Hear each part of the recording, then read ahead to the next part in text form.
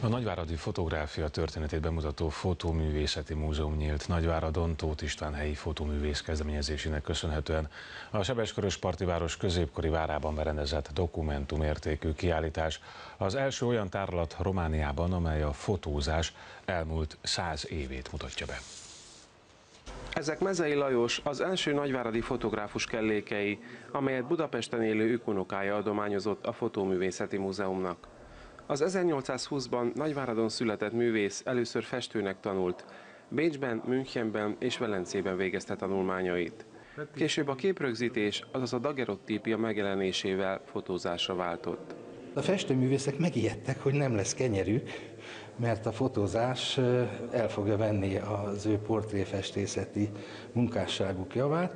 Úgyhogy nagyon sok festőművész Magyarországon is fotózással kezdett foglalkozni rögtön az elején, és Mezei Lajos is így tett. Már 1852-ből ismerjük, itt Nagyváradon készült dagerotípiáit.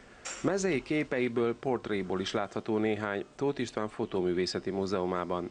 Bemutatni azt a hangulatot visszaadni A múzeumot alapító Tóth István fotóművészt már gyerekkorában megragadta a fényképezés varázsa.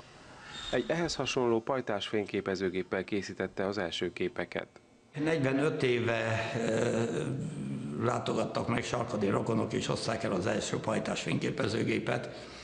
Akkor még egész kicsi voltam, és hát egyből elvarázsolt a csodálatos bakelit fényképezőgép, de akkor még nem tudtuk, hogy mi is az a bakelit, de úgy csodálatosnak tűnt az egész gép, és mindjárt felvetődött bennem az, hogy hát hogy létezik, hogy a fény bejut a fényképezőgépbe, hogy rögzítődik a filmre, hogy lehet azt átmásolni. Leginkább autodidakta módon sajátította el a szakmát, az elmúlt 45 év során felhasznált tárgyakat, kellékeket, eszközöket a most nyílt múzeumnak adományozta. A hét kiállítóterem egyikében egy korabeli műterem, egy másikban egykori nagyítók, filmek, régi fényképezőgépek látható.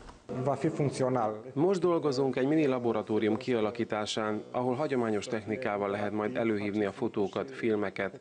Ezt elsősorban oktatási célokra szeretnénk majd felhasználni, mondja a muzeológus. Egy másik teremben rendszeresen tartanak majd időszakos kiállításokat. Itt tép az alapító Nagyvárad ma már nem létező műemlékértékű temetőjéről készített fotósorozata látható, egy temető halála címmel. Megőriztek olyan ma már nem látható épületeket, helyszíneket, amelyek hát csak leírásban lennének, meg hogyha ők nem dolgoztak volna. Tehát ilyen értelemben is nagyon fontos azoknak a munkája, akik kezdve a 50-es, 60-as évektől megörökítették az akkori jelenét a városnak, ami hát ma már muzeális értéket jelent számunkra. Emellett több mint 2000 fotótörténeti könyv is a múzeum része. Évente első élvonalas fotóművészek is adományoznak képeikből az intézmény számára, amelyeket időszakos kiállításokon mutatnak majd be az érdeklődőknek.